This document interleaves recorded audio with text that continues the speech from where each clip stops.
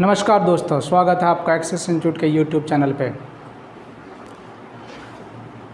इस चैनल में हम लोग मुख्यतः ES GATE junior engineer E S ouch assistant engineer या कोई भी टेक्निकल एग्ज़ाम्स जिसमें मेनली टेक्निकल्स क्वेश्चंस पूछे जाते हैं, उन सबसे संबंधित हम लोग सब्जेक्ट के बारे में देखते हैं। और मैं चाहता हूँ कि आप इस वीडियो को देखने के पहले ज़रूर एक बार हमारे चैनल को सब्सक्राइब कीजिए, ताकि आपको भविष्य में आने वाले जो भी टॉपिक्स हैं, जो भी कंटेंट हैं, वो आपको मिलता रहे और आपको पता चलता रहे।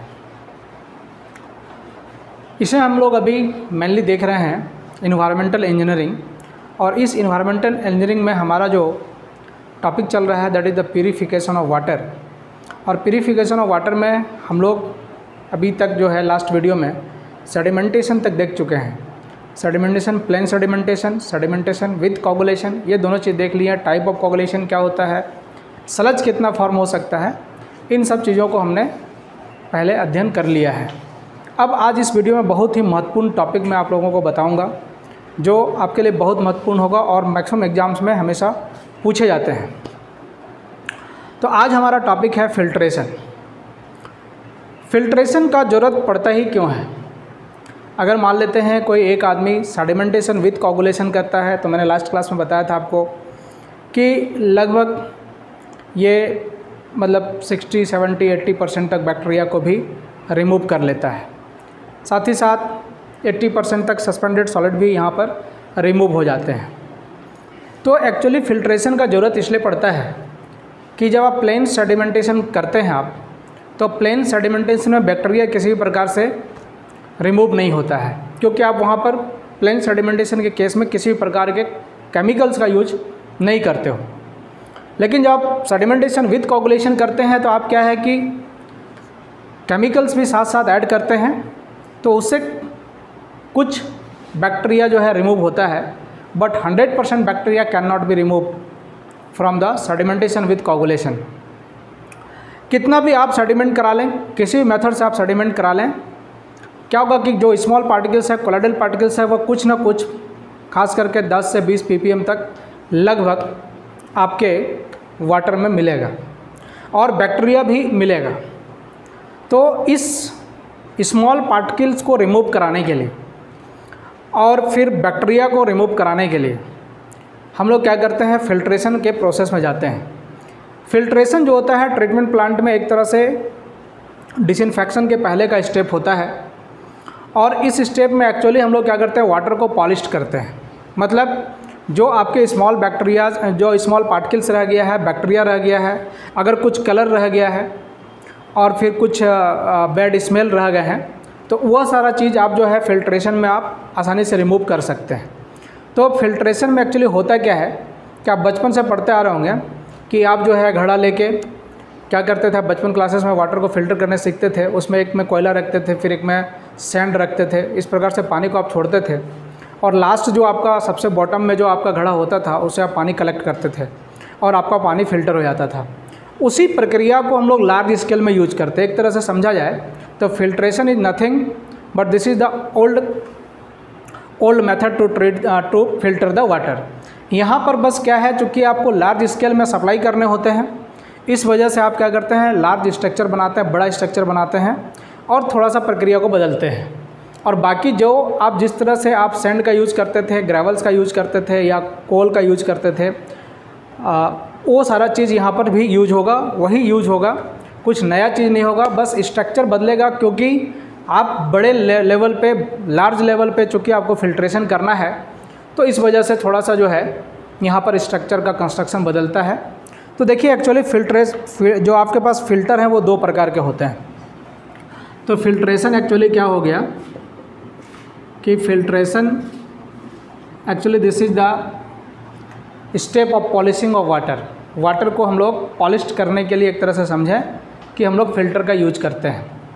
अब आपका जो फ़िल्टर है टाइप्स ऑफ़ फ़िल्टर अगर हम लोग देखें तो we have two types of filter types of filter हमारे पास दो प्रकार का होता है। पहला gravity filter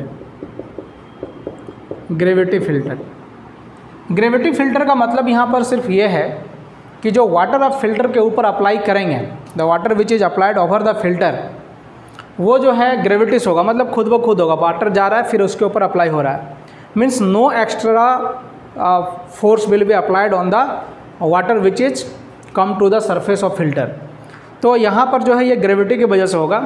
और इट्स हैविंग टू टाइप्स जो ग्रेविटी फ़िल्टर है, ये दो तरह का होता है slow sand filter slow sand filter and second one is rapid sand filter तो हमारे पास दो तरह का फ़िल्टर यहाँ पर मिलता है। And second type of filter is pressure filter pressure filter pressure filter में क्या होता है? ये स्मॉल यूनिट होता है। और इसमें हम लोग प्रेशर बाहर से एग्जट कराते हैं। वाटर को फ्लो कराने के लिए जो मटेरियल है मीडियम आपका सेम होगा मीडिया जो होगा वो सेम होगा, उसी से पास होगा। Either in case of gravity filter और in case of pressure filter but यहाँ पर आप क्या है, जो वाटर आप अप्लाई कर रहे हैं ऑन द फ़िल्टर उस पर क्या है कि कोई फोर्स नहीं लगा रहे हैं। लेकिन प्रेशर फ़िल्टर के केस में आप क्या कर रहे हैं कि फोर्स अप्लाइड करते हैं प्रेशर अप्लाइड करते हैं। So such type of filter is use for small small treatment of water मतलब कम अमाउंट में स्मॉल क्वांटिटी अगर वाटर का ट्रीट करना है तो आप प्रेशर फ़िल्टर का यूज़ करते हैं। मतलब ये या कहाँ पर यूज़ हो सकता है? जैसे इंडिविजुअल इंडस्ट्री इंडिविजुअल इंडस्ट्री या फिर कहाँ यूज़ हो सकता है? जैसे स्विमिंग पूल स्विमिंग पूल तो इस तरह का आप, जहाँ पर आपके पास होता है, आप स्मॉल लेवल पे जब यूज़ करते हैं तो such type of filter is known as pressure filter अब देखिए स्लो सैंड फ़िल्टर और रैपिड सैंड फ़िल्टर में एक्चुअली क्या है? स्लो सैंड फ़िल्टर जो है, ये 98 to 99 percent ninety two 99 percent bacteria को रिमूव करता है। बैक्टीरिया रिमूव करता है। साथ ही साथ थोड़ा कलर भी रिमूव कर लेगा। कुछ गैसेस हैं तो उनको भी रिमूव कर लेगा। ठीक है ना? तो ये क्या है? बहुत लार्ज मतलब आपका जो है पार्टिकल्स को भी ये मैक्सिमम जो है रिमूव कर लेगा। अगर यहाँ पर आप अगर डिसइनफेक्टन क्लोरिनेशन का यूज़ क्लोरीन का यूज़ कर देते हैं एज अ डिसइनफेक्शन तो ये 99.9 परसेंट तक बैक्टीरिया रिमूव कर सकता है। When chlorine is use as disinfection मतलब फ़िल्टर के फ़िल्टर बेड पर वाटर को आने के पहले अगर आप क्लोरीन यूज़ कर लिए हैं तो ये 99 मतलब समझिए कि 100 परसेंट बैक्टीरिया को रिमूव कर सकता है। ये बहुत अच्छा होता है, इसमें परसेंटेज रिमूवल पार्टिकल्स का बेस्ट होता है मैक्सिमम होता है। बस इसके साथ प्रॉब्लम क्या है? Such type such type of filter ये जो है बहुत स्लो काम करता है, ठीक है? इसका जो रेट होता है वर्क करने का, वो रैपिड सेंड फ़िल्टर के कंपेयर में वन बाई थर्टी होता है। तो यहाँ पर जो रेट ऑफ़ फिल्ट्रेशन होगा रेट ऑफ़ फिल्ट्रेशन अगर हम लोग देखें स्लो सैंड फ़िल्टर से this will one by thirtieth of rate of filtration rate of filtration of slow sand filter slow sand filter is equal to one by thirty of rate of filtration of rapid sand filter rapid sand filter के compare में ये बहुत one by thirty times हो जाता है rate of filtration अब देखिए, ये क्या है? इसको लार्ज एरिया चाहिए। Large area. बड़ा एरिया का रिक्वायरमेंट होता है।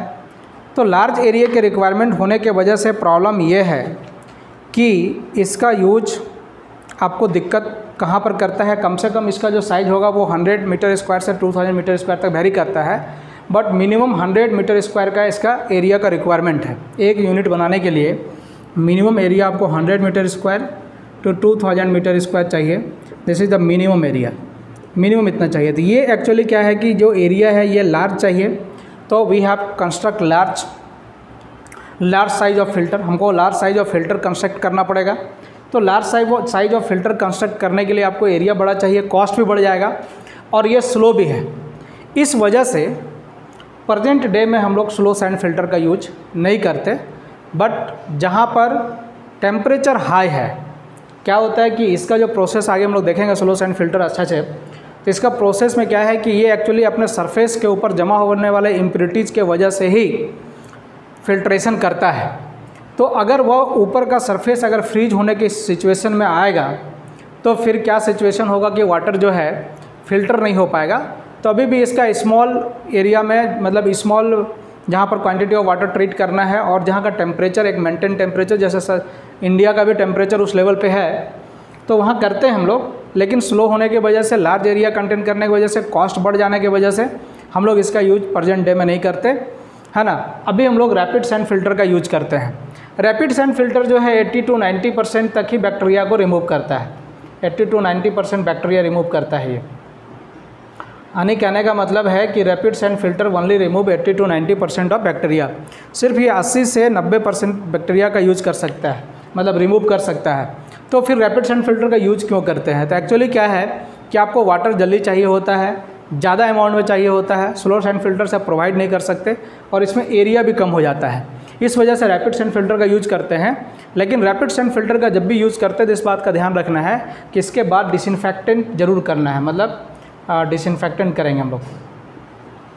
डिसइनफेक्शन जो होगा, वो ज़रूर होगा। डिसइनफेक्शन करने के कारण क्या होगा कि आपका जो भी बैक्टीरिया है, वो सारा बैक्टीरिया जो बचा हुआ है रिमेनिंग बैक्टीरिया जो जो इस, ये रैपिड सेंड फ़िल्टर के द्वारा रिमूव नहीं किया जा सका, वो सारा बैक्टीरिया जो है रिमूव हो जाएगा और आपको जो अमाउंट ऑफ़ वाटर चाहिए, वो आपको मिलता रहेगा। So we use now at present rapid sand filter अब हम लोग फ़िल्टर को अलग अलग समझने के पहले इसका मैकेनिज़्म समझते हैं कि फिल्ट्रेशन का मैकेनिज़्म क्या है? थ्योरी क्या है? या फिर ये कैसे फ़िल्टर करता है? ठीक है? तो देखिए थ्योरी ऑफ़ फिल्ट्रेशन अगर हम लोग समझें,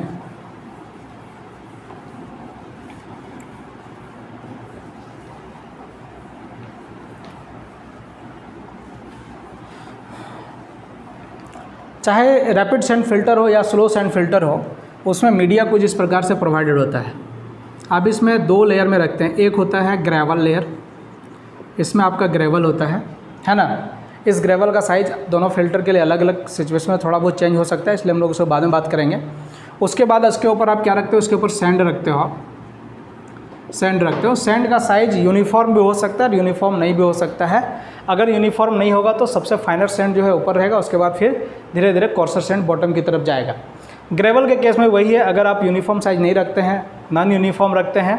Then finer will be at the top and धीरे धीरे ये नीचे की तरफ़ बॉटम की तरफ़ कोर्सर होते जाएगा। अब यहाँ पर इस पर हम लोग क्या करते हैं? वाटर अप्लाई कर देते हैं। This is the water water का जो डेप्थ होता है, वो सैंड के डेप्थ के लगभग बराबर होता है। लगभग। अगर ये एक्स है तो then it will be also X मतलब दोनों का जो डेप्थ होगा, वो इक्वल रखते हैं हम लोग। अब इसमें आखिर काम कैसे करता है? तो देखिए, जब वाटर को अप्लाइड करते हैं फ़िल्टर के ऊपर, हम लोग theory of sediment theory of filtration देख रहे हैं। थ्योरी ऑफ़ फिल्ट्रेशन हम लोग देख रहे हैं। तो देखिए एक्चुअली वर्क कैसे करता है? पहला जो थ्योरी है the first theory is mechanical straining ठीक है? First theory is mechanical straining this is the first theory होता क्या है कि हम लोग वाटर को सैंड के ऊपर प्लेस्ड किए हैं। मतलब सैंड के ऊपर वाटर लोड हम लोग दिए हैं। मतलब वाटर को उसके ऊपर रखे तो that will be create a load तो ये वाटर जो है सैंड के ऊपर एक लोड क्रिएट करेगा वेट क्रिएट करेगा। और सैंड को जब हम लोग डालें तो सैंड का पार्टिकल इस तरह से है कुछ। तो वी हैव वाइट्स सैंड का पार्टिकल कितना भी एक दूसरे के कांटेक्ट में होंगे तो यहाँ पर क्या होगा? देर विल बी वाइड अब इस वाइड का साइज़ जो है that size of the void may be either more than suspended particles present in water या फिर ऐसा हो सकता है the size of void is less than suspended particles present in water दो सिचुएशन है कि ये जो वॉइड का साइज़ होगा सैंड को जो आप रख रहे हैं, उसके वजह जो वॉइड है, इस वॉइड का जो साइज़ होगा डाया होगा, वह साइज़ वाटर में प्रजेंट जो सस्पेंडेड सॉलिड होगा, उसके साइज़ से ज़्यादा हो सकता है। और या फिर उसके साइज़ से कम हो सकता है। तो अगर साइज़ छोटा है वॉइड का in compare to suspended solid जो सस्पेंडेड सॉलिड वाटर में प्रजेंट है, जो कोलाइडल्स पार्टिकल्स प्रजेंट है, अगर उससे हमारा साइज़ वाइट का छोटा हो गया तो क्या होगा कि जो पार्टिकल्स होंगे, वो सारा इसके ऊपर जो है, ये सस्पेंडेड पार्टिकल्स इस, क्या होगा स्क्रीन हो जाएगा ना। तो सस्पेंडेड पार्टिकल्स जो होगा, वो इसके ऊपर आके रुक जाएगा। So this is known as this is known as straining mechanical straining अब ये जो सस्पेंडेड पार्टिकल इसके ऊपर आके जमा होगा, इसके ऊपर आके रहेगा तो ये एक लेयर बना लेगा, है ना? और ये लेयर जो है फर्दर फिर, ये लेयर जो होगा, ये फर्दर आपको फिल्ट्रेशन में हेल्प करता है, ठीक है? उसके बारे में अभी हम बात करेंगे। तो this is the layer of impurities ये जो तैयार हो गया यहाँ पर this is layer of layer of impurities impurities का लेयर हो गया। ठीक है? नाउ सेकेंड इज़ सेकेंड जो हमारा है फ्लोकुलेशन एंड सेडिमेंटेशन सेकेंड जो है flocculation flocculation and sedimentation second theory हमारा फ्लोकुलेशन एंड सेडिमेंटेशन है। यहाँ पर जो सस्पेंडेड पार्टिकल था मैकेनिकल स्ट्रेनिंग के केस में इसका साइज़ क्या था? Size of particle size of particle is less sorry more than more than size of white void के साइज़ से बड़ा था। इस वजह से यहाँ आके ये स्ट्रेन हुआ। इस वजह से यहाँ आके रुका। लेकिन मैंने आपको बोला कि the size of particle suspended particle जो है, उसका साइज़ इस वॉइड के साइज़ से छोटा भी हो सकता है। तो क्या होगा? वॉइड के साइज़ से अगर छोटा हो गया तो they will be settle pass हो जाने का ये मान लेते हैं हम लोग वॉइड दिखा रहे हैं सपोज़ थोड़ा बड़ा करके देख रहे हैं हम लोग माइक्रोस्कोपिक तो ये जो वॉइड है, यहाँ से ये पार्टिकल पास होने लगेंगे। नहीं, अगर साइज़ ऑफ़ सस्पेंडेड पार्टिकल जो है, वह इस वॉइड के साइज़ से अगर छोटा है then such type of particles में pass through the void of the sand sand का जो वॉइड है, उसे वो पास होगा। तो अब यहाँ पर क्या होगा, जब ये पास होगा तो बिकॉज़ जो भी सस्पेंडेड पार्टिकल्स है ये बहुत स्मॉल होगा, क्योंकि सेडिमेंटेशन टैंक में ये सेडिमेंट नहीं हुआ मतलब इसका साइज़ बहुत छोटा है। So such type of particles having organic nature और फिर कह सकते हैं स्टिकी नेचर और कोलाइडल साइज़ होगा, है ना? साइज़ जो होगा वो कोलाइडल साइज़ होगा, इसीलिए यह सस्पेंडेड सेडिमेंट नहीं हो पाया सेडिमेंटेशन टैंक में। तो इस तरह का पार्टिकल का नेचर कैसा होगा? स्टिकी होगा मतलब ऑर्गेनिक नेचर का होगा। ठीक है, ऑर्गेनिक नेचर होगा और साइज़ कोलाइडल होगा, ठीक है? तो अब ये जब यहाँ से जाएगा तो ये क्या करेगा? अब नीचे भी सैंड रखा हुआ है है ना? We have a layer of sands तो अब क्या होगा, जब ये पास होगा तो जो सैंड है, उसके ऊपर ये स्टिक करेगा, है ना? आपका क्या होगा? Suspended particle suspended particle stick over the surface of sand initially ये ऐसा करेगा कि ये इस पर स्टिक होने लगेगा। स्टिक होने लगेगा तो यहाँ देखिए, ये जो रीजन है, यहाँ पर तो वाटर स्लो हो रहा है। तो ये जो पोर्शन है, ये एक टैंक की तरह काम कर रहा है। ठीक है ना? This is a tank so this is not a sedimentation tank sedimentation tank आप बोल सकते हैं। Tiny sedimentation tank tiny sedimentation tank अब यहाँ पर जब पार्टिकल जाएगा तो ये सेडिमेंटेशन टैंक में ये जो पार्टिकल्स इसके साथ स्टिक हो चुके हैं they will be attract more particles क्योंकि वो ऑलरेडी स्टिकी नेचर का है सरफेस ऑफ़ सैंड के ऊपर आ गया है। अब वो क्या करेगा कि पार्टिकल्स को अपनी तरफ़ अट्रैक्ट करना शुरू करेगा और ये छोटा छोटा इस तरह से टैंक बनाएगा और वहाँ पर फर्दर जो है, आपका पार्टिकल जो पास हो जा रहा था, जिसका वाइड का साइज़ उसके साइज़ से बड़ा हो रहा था, वो इस जगह पर आके अरेस्टेड हो जाएगा, आके यहाँ पर रुक जाएगा और इस प्रकार से यहाँ रुक जाएगा। This is the second theory third theory is the biological biological metabolism biological metabolism this is the third theory this is the biological metabolism biological metabolism में होता क्या है एक्चुअली कि यहाँ पर जो आपके सरफेस के ऊपर पार्टिकल्स आए हैं, ये जो सस्पेंडेड हो गया, एक लेयर तैयार कर रहा है। दे फॉर्म ए लेयर ठीक है ना? एक लेयर तैयार किया तो इस लेयर पर क्या होगा कि बैक्टीरिया भी होंगे। है ना?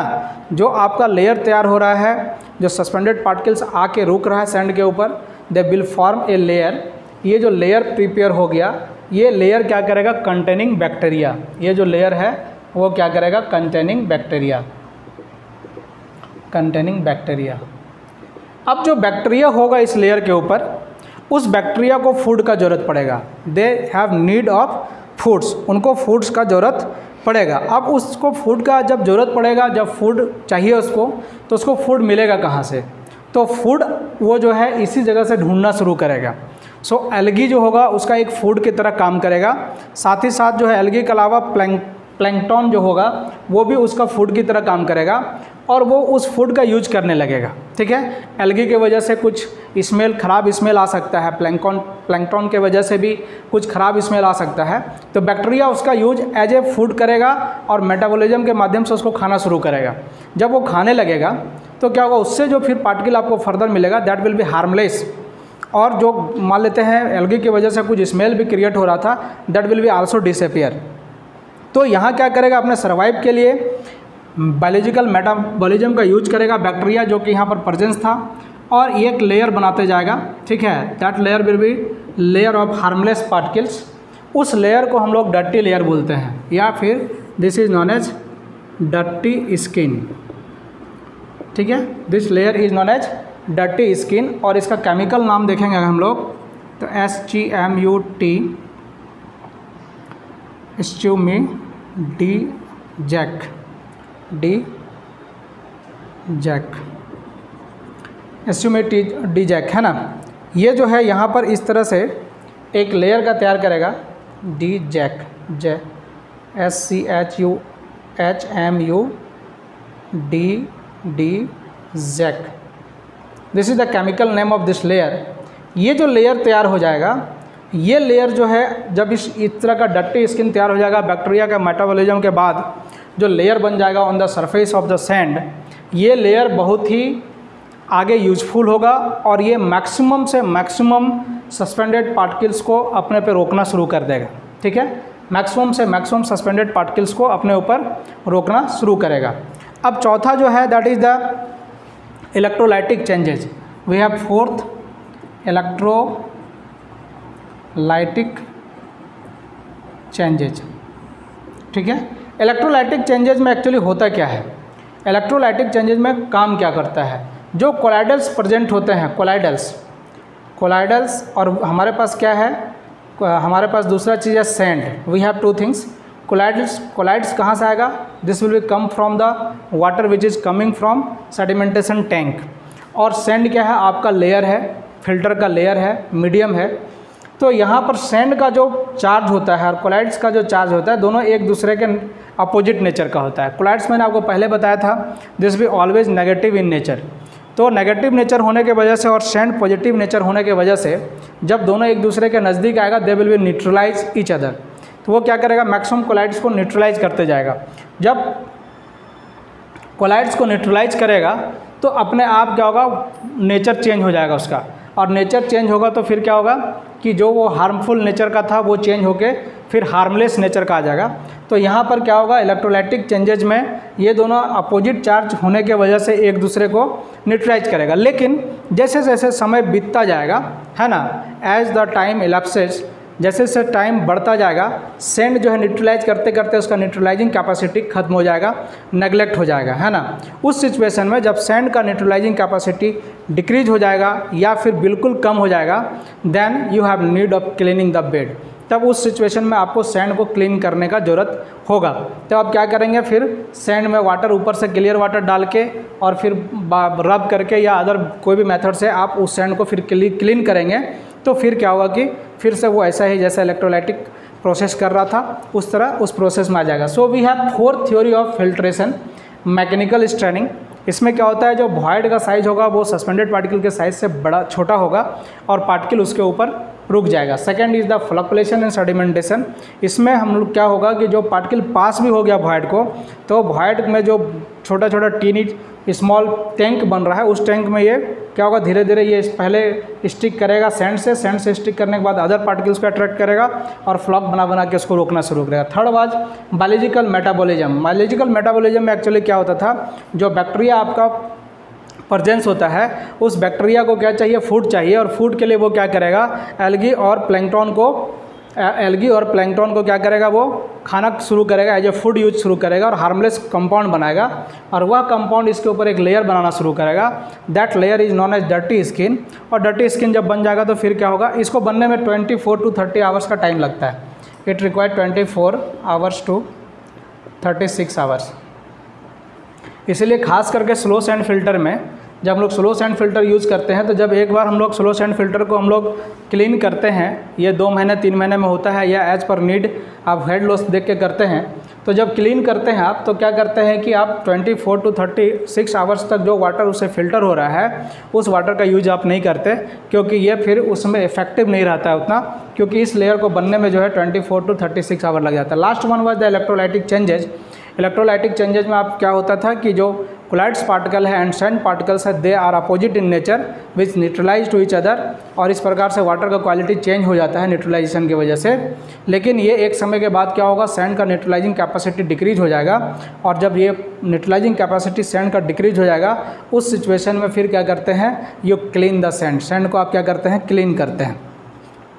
अब जो हमारा इंपॉर्टेंट बात है, वो है फ़िल्टर मीडिया फ़िल्टर मीडिया हम लोग क्या क्या यूज़ करते हैं okay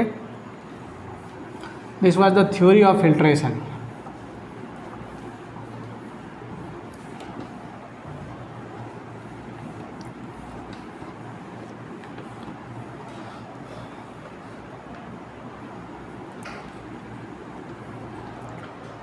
filter medium आप यूज़ क्या करते हैं? हम लोग नेक्स्ट देख रहे हैं।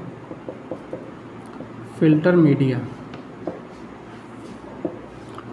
फ़िल्टर मीडिया में एक्चुअली आप दो चीज़ का यूज़ करते हैं, एक सैंड का यूज़ करते हैं और दूसरा आप यूज़ करते हैं ग्रेवल का, ठीक है? तो first thing is sand sand का आप यूज़ करते हैं। सैंड जो आप लेंगे, ये जो है, ये ज़रूर होना चाहिए कि क्वार्टाइज्ड रॉक से बना हुआ हो, है ना? क्वार्टाइज्ड रॉक से ये बना हुआ हो। पहला सिचुएशन ये है कि that should be form from quartzite sand ये यूनिफॉर्म और यूनिफॉर्म इन साइज़ होना चाहिए। यूनिफॉर्म इन साइज़ साइज़ होना चाहिए। साथ ही साथ ये हार्ड एंड रेसिस्टेंट होना चाहिए, है ना? हार्ड होना चाहिए। एंड रेसिस्टेंट होना चाहिए। और जब हम लोग इसको, अगर हम लोग मान लेते हैं S C L hydrochloric acid में 24 आवर्स के लिए मर्ज कर दें 24 आवर्स के लिए छोड़ दें तो weight loss weight loss should not be more than should not be more than 5 percent more than 5 percent ठीक है? जो आप सेंड यूज़ करेंगे, ये इंपॉर्टेंट फैक्टर है कि जब इसको आप हाइड्रोक्लोरिक एसिड में डाल के 24 आवर्स के लिए रखेंगे तो उसका जो वेट है वो twenty four sorry five percent से ज़्यादा लॉस नहीं होना चाहिए। अदरवाइज़ फिर दिक्कत है। अब है कि साइज़ हम लोग सैंड का क्या लगेंगे है ना? तो साइज़ एक्चुअली क्या है कि अगर आप बहुत छोटा साइज़ ले लेते हैं स्मॉल साइज़ अगर आप ले लेते हैं तो स्मॉल साइज़ लेने से क्या होगा कि आपका फ़िल्टर बार बार क्लॉक्ड करेगा। कहने का मतलब बहुत स्मॉल साइज़ पार्टिकल का है तो आपका क्या होगा साइज़ ऑफ़ वाइट डिक्रीज हो जाएगा। ठीक है पोरोसिटी ज़रूर बढ़ेगा बट क्या होगा सॉरी पोरोसिटी भी घट जाएगा। तो स्मॉल लेने से आपका क्या होगा फ़िल्टर फ्रीक्वेंटली फ्रीक्वेंटली क्लॉक्ड करेगा। फ्रीक्वेंटली क्लॉक्ड ठीक है? और अगर बड़ा साइज़ ले लिया आप लार्ज साइज़ ले लिया आप तो फिर क्या होगा कि suspended particles will be passing through this है ना? पार्टिकल्स पास्ट थ्रू दिस, है ना? इसीलिए साइज़ ऑफ़ पार्टिकल को हम लोग इस प्रकार से लेंगे कि ये दोनों में से कोई भी घटना ना हो, ठीक है? ना तो फ्रिक्वेंटली क्लॉक्ड हो और ना ही फटाफट पास हो जाए, है ना? तो इसके लिए हम लोग क्या करते हैं? इफ़ेक्टिव साइज़ हम लोग यूज़ करते हैं। इफ़ेक्टिव साइज़ इफ़ेक्टिव साइज़ जो है this is represent by D ten इसका मतलब हुआ कि जो साइज़ आप ले रहे हैं, उसमें सिर्फ़ टेन परसेंट ऐसा पार्टिकल हो सकता है मैक्सिमम जो कि उस पार्टिकुलर सीप से पास हो सकता है। ठीक है? तो जो इफ़ेक्टिव साइज़ होता है this is 0.2 to 0.4 M for slow sand filter slow sand filter के लिए आप इफ़ेक्टिव साइज़ क्या ले सकते हैं? Point two to point four M M ले सकते हैं। जबकि रैपिड सैंड फ़िल्टर के लिए ये इफ़ेक्टिव साइज़ चेंज हो जाता है 0.35 to 0.55 M M for rapid sand filter rapid sand filter के लिए साइज़ क्या होगा? 0.35 टू 0.55 mm. इसके साथ साथ यूनिफॉर्मिटी भी होना चाहिए। So we check coefficient of uniformity coefficient of uniformity coefficient of uniformity को आप रिप्रेजेंट करते हैं सी यू से and this is D sixty by D ten ठीक है? And this coefficient of uniformity में varies from 1.8 to 2.5 for slow sand filter. Slow sand filter में ये यूनिफॉर्मिटी कॉफिशियंट जो है आपका वेरी करेगा कहाँ से कहाँ तक? 1.8 से 2.5 तक।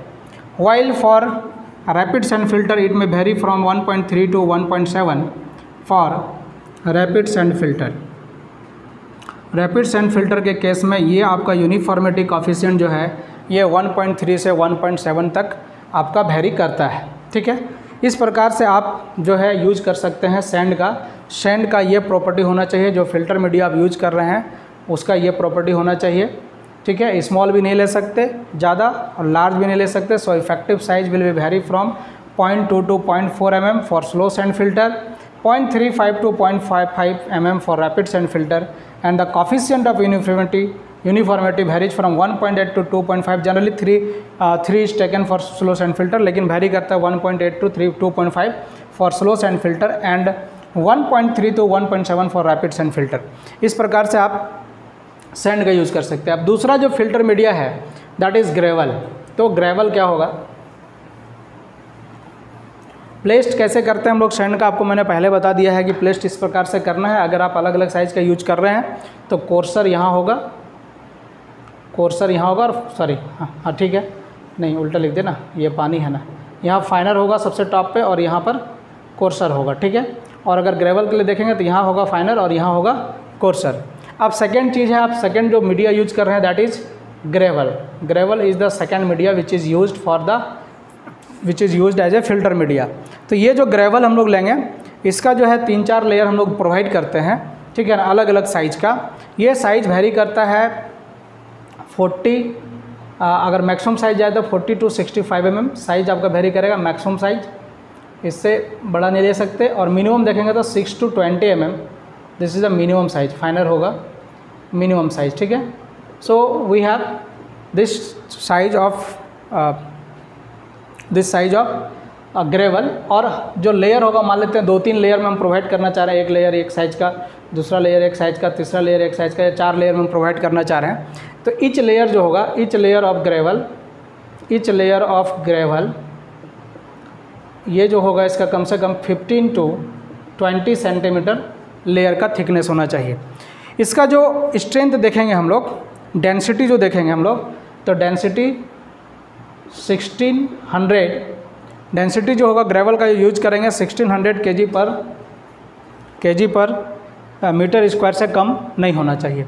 तो इस प्रकार से आप जो है, ये यूज़ कर सकते हैं। अब क्या है कि कहीं कहीं पर अब सैंड के जगह पर जो डेवलप कंट्री है, वहाँ पर हम लोग एंथ्राफिल्ट का यूज़ करते हैं ना? अगर हम लोग अदर मटेरियल्स की बात करें, है ना? एंथ्रा एंथ्राफिल्ट ठीक है? Anthrafilt is used in place of sand. लेकिन ये अभी इंडिया में नहीं है।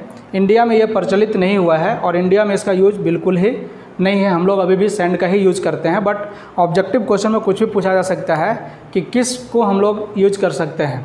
At the place of sand या फिर इसमें से which of the following can be use as a filter media तो एंथ्रा एंथ्राफिल्ड का यूज़ करते हैं। एक्चुअली एंथ्रा एंथ्राफिल्ड जो है, ये आता है एंथ्रासाइड से। एंथ्रासाइट से आता है ना? एंथ्रासाइट इसका बाय प्रोडक्ट है एंथ्राफिल्ड। तो एंथ्रासाइट एक्चुअली क्या दिस इज़ अ कोल ये एक कोयला होता है, जो इंडिया में बिल्कुल नहीं पाया जाता। है इंडिया में जनरली बिटोमिनस नेचर का कोयला पाया जाता है। एंथ्रासाइट जो कोल होता है, इसमें आप जब इसको जलाएँगे तो इससे क्या है, धुआँ बहुत कम निकलता है, बिल्कुल नहीं के बराबर। ठीक है? उसको हम लोग बर्न करके फिर हम लोग एज ए यूज़ करते हैं यहाँ पर। फ़िल्टर मीडिया में। अब इस तरह से आप देख लिए कि पहला जो थ्योरी ऑफ़ फिल्ट्रेशन क्या था सेकंड चीज़ देख लिया आपने कि आप मटेरियल क्या यूज़ करते हैं। Now we are going to study about the slow sand filter तो हम लोग देखते हैं कि स्लो सैंड फ़िल्टर है क्या।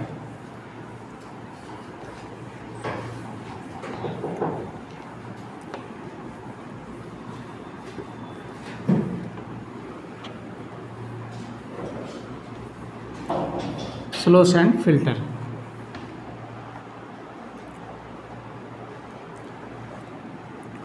slow sand filter. सबसे पहले आपके पास एक चैम्बर होता है या एक टैंक कह सकते हैं that is known as enclosure tank ये रेक्टेंगुलर शेप का होता है, जो टैंक होता है हैविंग रेक्टेंगुलर इन शेप मान लेते हैं हम लोग यहाँ बना दे रहे हैं एक tank we have a tank like that ये किस, कैसा होगा? रेक्टेंगुलर होगा, ठीक है ना? इसका जो हाइट होता है हाइट वेरी करेगा 2.5 टू 3.5 मीटर तक। The height of tank varies from 2.5 to 3.5 metre, ठीक है? सबसे पहले आपके पास एक टैंक होता है। अब इसमें आप क्या करते हो? लेयर ऑफ़ द मीडिया डालते हो। Suppose we have this is the gravel layer this is gravel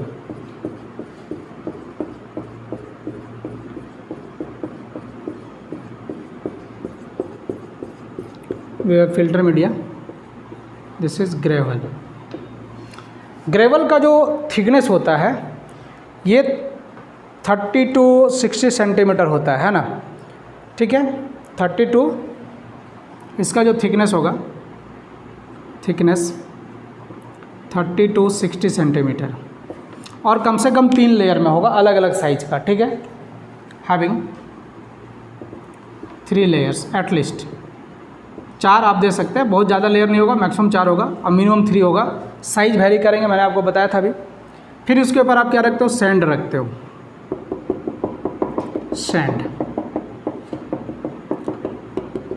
second layer जो आप बनाते हो दैट इज़ सेंड सेंड का जो डेप्थ होता है दिस इज़ 90 सेंटीमीटर ठीक है? इसका जो डेप्थ होगा या थिकनेस होगा दिस इज़ 90 सेंटीमीटर ये आपका सेंड है। ठीक ना? फिर सैंड के ऊपर आप रखते हो water so we have water here जितना थिकनेस सैंड का होगा, उतना ही थिकनेस मतलब उतना ही डेप्थ वाटर का भी होगा. So it is also 90 centimetre this is water इस प्रकार से आपका एक फ़िल्टर बेड तैयार हो गया. अब हम लोग यहाँ पर वाटर इन कराते हैं, ठीक है? तो वाटर इन कराने के लिए आपके पास एक चैम्बर होने चाहिए. So we have an inlet chamber ठीक है? यहाँ पर इनलेट है और ये इनलेट चैम्बर है। यहाँ पर इनलेट है। Inlet and this is inlet chamber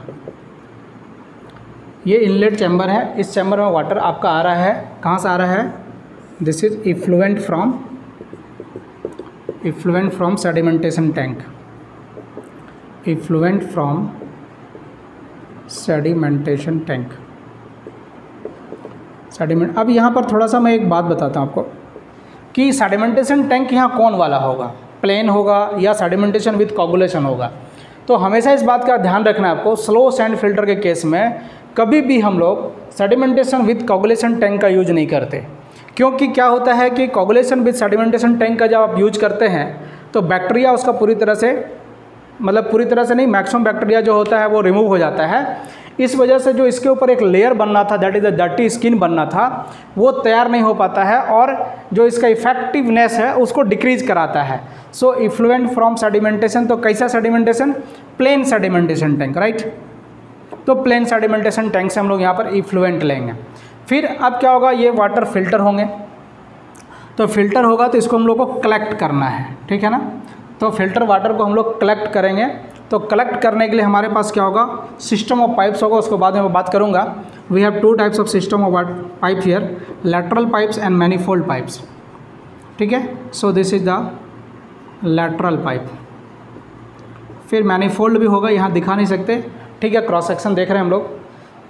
अब ये जब यहाँ से होगा, फिर इसके वाटर को आप बाहर लेंगे आउटलेट आपके पास होगा। ठीक है आउटलेट जो होगा वो इसी पाइप्स के माध्यम से बाहर आएगा। आउटलेट होने के बाद फिर हम लोग यहाँ पर क्या करेंगे? वाटर को जमा करके रखेंगे। ठीक है? दिस इज़ द आउटलेट ये आउटलेट हो गया। पानी यहाँ से बाहर हो रहा है। इसको हम बाद में देखेंगे कि यहाँ पर सिस्टम ऑफ़ पाइप्स कैसा है, किस प्रकार से है। यहाँ कॉन्क्रीट है इस समय। ठीक है ना? दिस आर कॉन्क्रीट हेयर तो ये कॉन्क्रीट भी है। मतलब ये स्ट्रक्चर है। इसके ऊपर पाइप्स है। पाइप से वाटर जो है बाहर जा रहा है। बाहर जाने के बाद हम लोग क्या कह रहे हैं इस वाट, वाटर को हम लोग जमा कर ले रहे हैं। So this is known as outlet chamber outlet chamber जब वाटर यहाँ पर आएगा तो एक्चुअली वाटर यहाँ से इन किया था इसे सेंड से होके फिर ग्रेवल में गया। सो so, यहाँ पर ऑब्वियसली क्या है कि सेंड रेसिस्ट करेगा फ्लो होने से। रेसिस्ट करता है स्लो हो जाएगा। So there will be head loss क्या होगा यहाँ पर एक सर्टन हेड लॉस होगा। तो अगर मान लेते हैं this is the head of filter head of filter. तो जब वाटर यहाँ से बाहर आएगा तो ये आपको नहीं मिलेगा। कुछ हेड लॉस हो जाएगा। So this is the head loss. क्यों हेड लॉस हुआ? क्योंकि यहाँ पर क्या है कि वाटर जब सेंड से पास होगा तो ऑब्वियसली वो फ्लो को रेसिस्ट करेगा और रेसिस्ट करने के वजह से क्या होगा? हेड लॉस हो जाएगा। अब यहाँ पर हमको वाटर चाहिए। हम लोग वाटर को बाहर ले जा रहे हैं। यहाँ जो भी है, या तो सम्प है, या जो भी है आपके पास, आप वाटर को यहाँ से रिजर्वायर की तरफ़ भेज रहे हैं।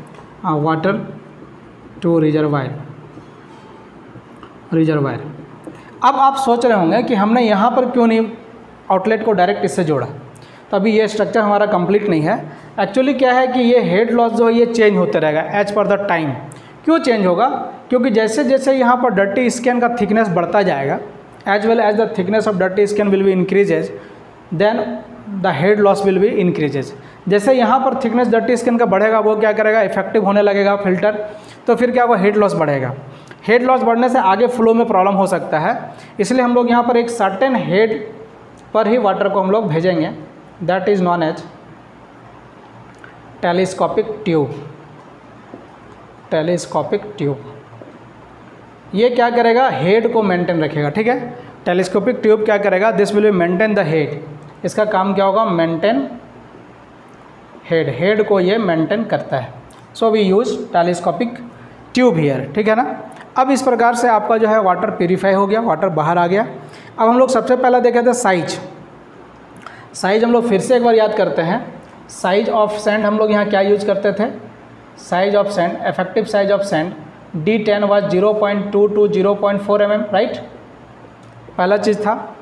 दूसरा दूसरा क्या था? Uniformity coefficient C U by D ten D sixty by D ten that was one point eight to two point five generally three is taken for slow sand filter ठीक है? जनरली थ्री हम लोग लेते हैं, ऐसा कोई ये नहीं है। अब दूसरा चीज़ है एरिया सेकेंड अच्छा साइज़ ऑफ़ हम लोग ग्रेवल भी कर लेते हैं। Size of gravel size of gravel actually हमने आपको बताया था कि इसका जो साइज़ होगा, ये अलग अलग साइज़ का आप ले सकते हैं, ठीक है ना? अगर हम लोग सबसे बॉटम में देना चाहेंगे तो उसका साइज़ बड़ा होगा और सबसे टॉप में जो देना चाहेंगे, उसका साइज़ सबसे छोटा होगा, है ना? तो मान लेते हैं टॉप पर जो साइज़ होगा top size gravel at top gravel at top अगर देखें हम लोग this size will be six M M to twenty M M है ना?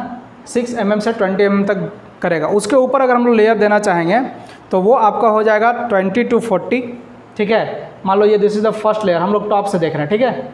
From top this is the first layer और सेकेंड लेयर जो होगा हमारा, इसका साइज़ जो होगा this will be vary twenty M M to forty M M हमने आपको बताया कम से कम तीन आप देंगे।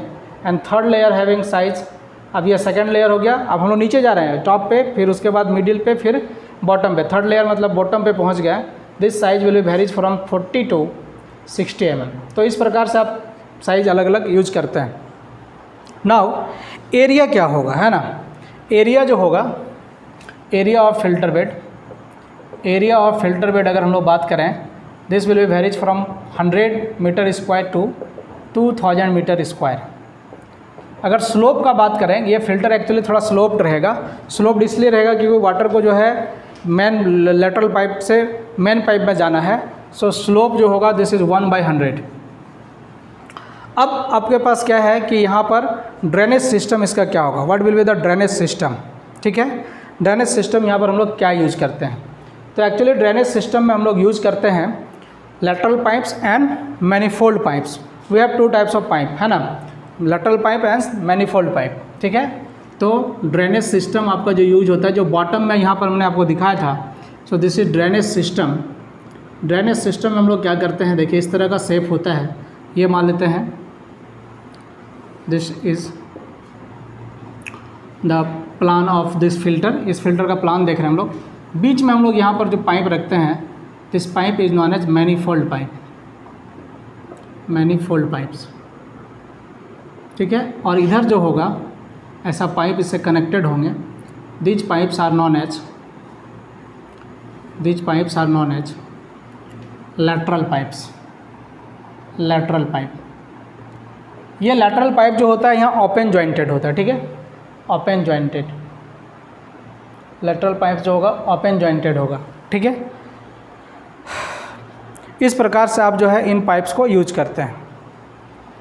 अब इसके ऑपरेशन में क्या होगा ठीक है? तो ऑपरेशन सिंपल है ये समझना कोई बड़ी बात नहीं है।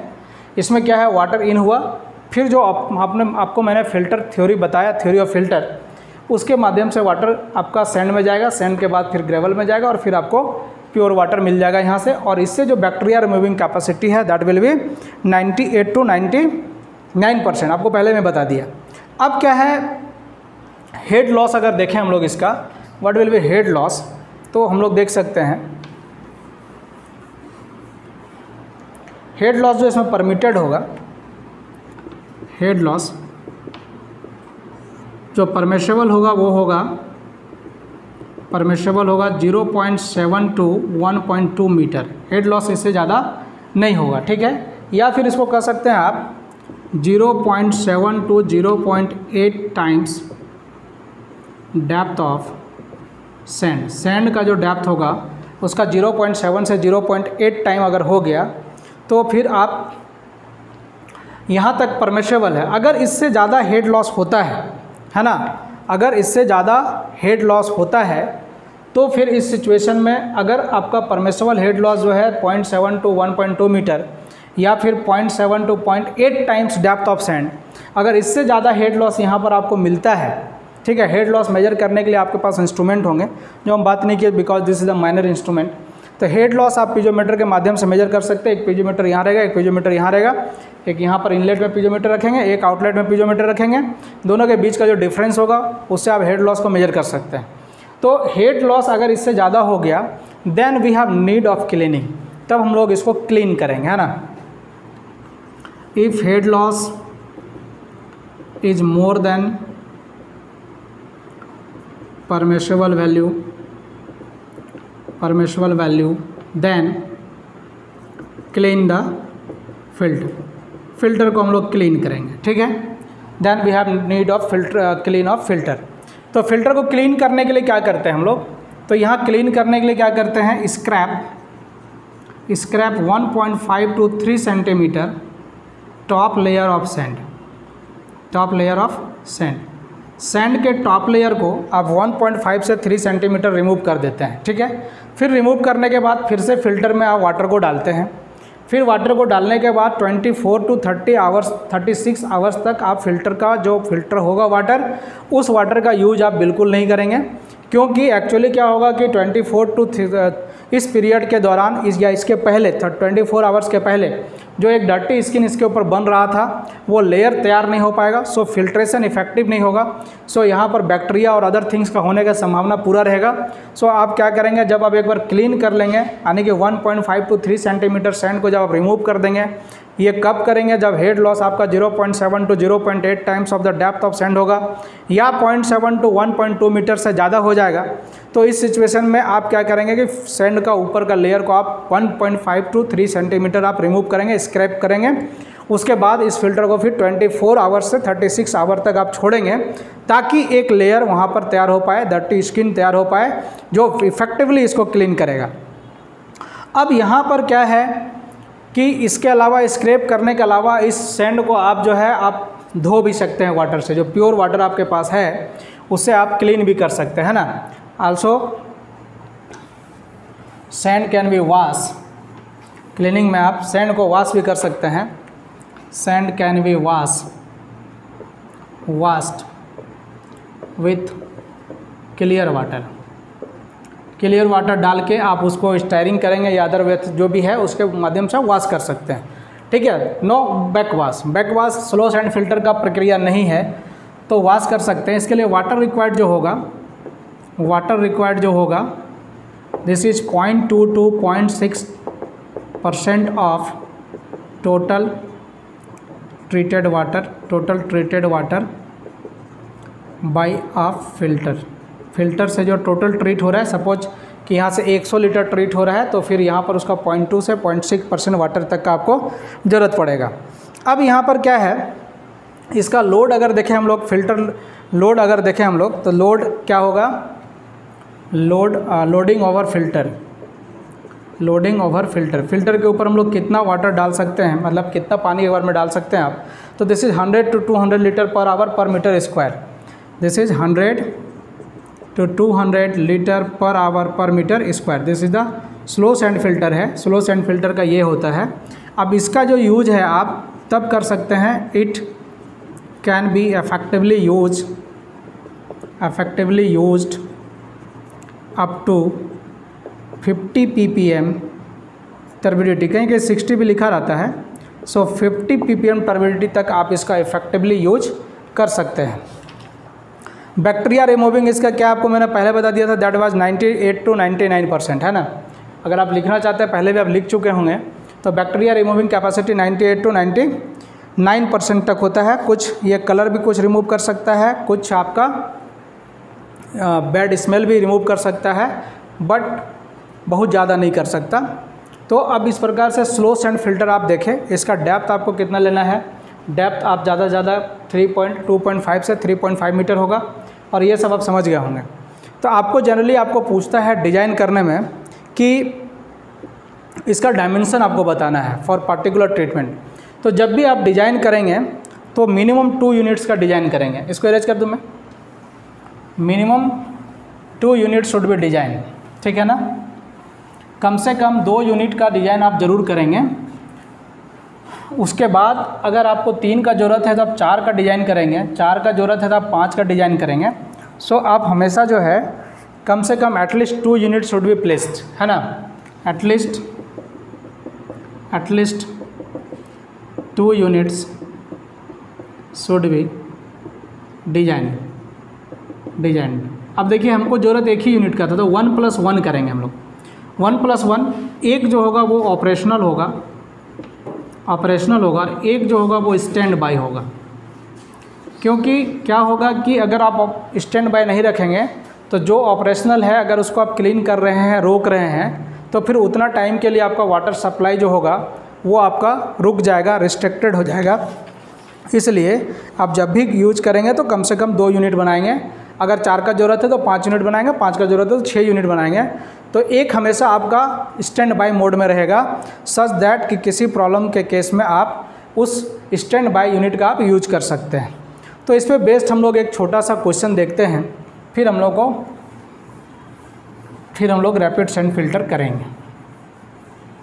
तो देखिए, एक क्वेश्चन है हमारे पास what is the question design six slow sand filter beds question हमारे पास है design six slow filter bed we have data year अब कह रहा है कि पॉपुलेशन टू बी सर्व्ड तो population is given population is given this is fifty thousand and per capita demand is given per capita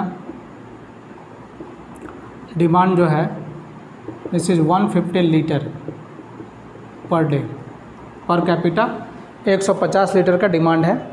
rate of filtration जो है rate of filtration is 180 litre per hour per metre square this is the rate of filtration length जो है bed का length is twice of width and assume maximum demand as अच्छा ठीक है। और इसके अलावा जो भी आपको डिमांड जो भी आपको डाटा चाहिए, आप एज्यूम कर सकते हैं। ठीक है ना? जो आपको डाटा चाहिए, आप इसका यूज़ आप एज एजम्सन कर सकते हैं। अब देखिए, यहाँ पर क्या है? स्लो सैंड फ़िल्टर का सिक्स का डिज़ाइन करना है ना? तो सिक्स स्लो सैंड फ़िल्टर का मतलब क्या हुआ? Six slow sand filter unit का मतलब हुआ six slow sand filter unit का मतलब हुआ कि आपको फाइव प्लस वन करने हैं। ठीक है? आपको मैंने पहले बताया कि जब भी आप डिज़ाइन करेंगे then always one should be stand by तो six slow sand filter design करना है, इसका मतलब five will be operational five units will be operational and one unit will be stand by एक यूनिट आपका स्टैंड बाई होना चाहिए। So six slow फेंटल का आप यूज़ कर रहे हैं। तो आपको सबसे पहले निकालना होगा एरिया तो एरिया आप कैसे निकालेंगे? तो एरिया निकालने के लिए आपको क्या चाहिए? तो देखिए एरिया कैसे निकालते हैं? एरिया यहाँ हो जाएगा this volume by rate of filtration rate of filtration यहाँ पर हो जाएगा डिस्चार्ज डिस्चार्ज ठीक है? आप कैसे एरिया निकालेंगे? तो मैक्सिमम डेली डिमांड या डिस्चार्ज जो है वो, ठीक है? And that by rate of filtration देखिए डिस्चार्ज क्या होगा? मीटर क्यूब पर आवर होगा। तो metre cube per hour per day ठीक है? और आपका यहाँ पर मीटर क्यूब या लीटर जो भी है लीटर पर आवर तो ये कट जाएगा। बचेगा क्या आपके पास? मीटर स्क्वायर बचेगा। यहाँ पर लीटर कैंसिल हो जाएगा, ठीक है? तो अब इस तरह से एरिया निकाल सकते हैं। तो एरिया निकालने के लिए आपको सबसे पहले क्या चाहिए? डिस्चार्ज चाहिए। तो डिस्चार्ज है क्या? वो हम लोगों को पता करना पड़ेगा, नहीं? तो एट फ़र्स्ट डिस्चार्ज पता करते हैं। तो डिस्चार्ज टोटल डिस्चार्ज क्या होना चाहिए आपका? Total quantity of water required total quantity of water required this is equal to what तो एक को चाहिए 150 लीटर और टोटल आदमी कितना है? फिफ्टी थाउज़ेंड तो फाइव इंटू वन फिफ्टी इसको हम डायरेक्ट कर रहे हैं. Ten power five litre per day है ना? टोटल डिमांड इज़ दिस ठीक है? So this will be seventy five यानी seven point five into ten power six litre per day. अब यहाँ पर हमारा क्या है? ये आवर में दिया हुआ है। So we have to change it into hour हम लोग को ये आवर में बदल लेने से अच्छा रहेगा, नहीं? या तो फिर उसको डे में बदलना होगा, या तो इसको आवर में बदलना होगा, ठीक है ना? तो चलिए ठीक है। दिस इज़ द एवरेज जब भी डिमांड रहता है per capita this is average value ये हमेशा एवरेज वैल्यू होता है। और आप जब भी आप so this is the average average quantity of water demand ठीक है? लेकिन जब भी आपको डिज़ाइन करना होता है that demand should be that design should be always based on maximum demand ठीक है? तो मैक्सिमम मैक्सिमम डिमांड क्या होगा? तो मैक्सिमम डिमांड इक्वल टू हमने आपको कल भी बताया था this is 1.8 point eight average demand right so it should be multiplied with 1.8 and this is equal to what कितना हो गया? Thirteen point thirteen point five into ten power six litre per day ठीक है? So this become the average demand per day litre per day अब आपको यहाँ मिल गया demand यानी कि आपको मिल गया डिस्चार्ज लीटर पर डे में, और रेट ऑफ़ फिल्ट्रेशन आपको पता है क्या है? So we can find out the area area of filter तो एरिया ऑफ़ फ़िल्टर आप निकालिए। तो क्या हो जाएगा area of filter discharge is thirteen point five into ten power six litre per day है, इसको मैं आवर में बदल देता हूँ। ट्वेंटी फोर से डिवाइड कर देंगे तो आवर हो जाएगा। ठीक है? Into rate of filtration this is one eighty litre per hour per metre square so this will be what बताइए।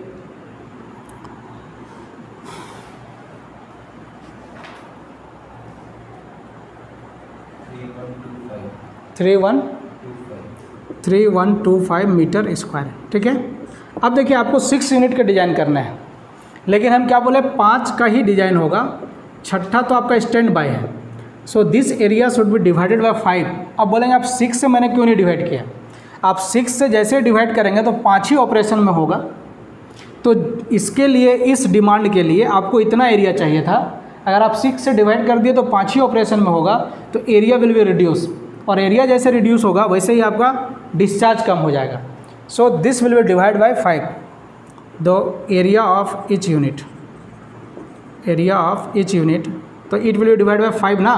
Three one two five by five six twenty five metre square so area of आप हम लोग पाँच ऐसा बनाएँगे, एक और बना देंगे छः वो जो हमारा होगा स्टैंड बाई होगा। क्योंकि आपका, अगर इस पाँच में से कोई एक बंद होता है तो वो अपने आप काम करना शुरू करेगा। मतलब उसको हम लोग काम में लाएँगे। तो ये हो गया। तो अब यहाँ पर एरिया हमको मिल गया। एरिया इक्वल टू क्या होता है? बी इंटू एल होता है width into length so area equal to six twenty five और बी क्या है? एल क्या है? टू टाइम्स ऑफ़ बी है. तो two B into B so B equal to what B बताओ.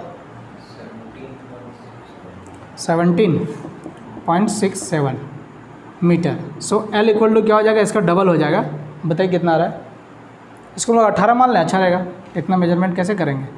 Eighteen metre and the L will be thirty six metre hence क्या हो गया? Eighteen metre into thirty six metre is the dimension of dimension of slow sand filter right इस प्रकार से आप देखें कि स्लो सैंड फ़िल्टर का डिज़ाइन किस प्रकार से करते हैं? स्लो सैंड फ़िल्टर का डिज़ाइन करना बहुत आसान है, बहुत आसानी से हम लोग इसका डिज़ाइन कर पाते हैं। लेकिन जब आप रैपिड सैंड फ़िल्टर देखेंगे तो रैपिड सैंड फ़िल्टर में क्या है? डिज़ाइन का पैरामीटर चेंज होता है। उसमें बैकवास की प्रक्रिया आती है, उसमें बहुत सारा कंपोनेंट्स आ जाता है। तो हम लोग रैपिड सैंड फ़िल्टर को नेक्स्ट वीडियो में देखेंगे। आज के लिए इतना ही, धन्यवाद। आप हमारे चैनल को इसी प्रकार से सब्सक्राइब करते रहिए।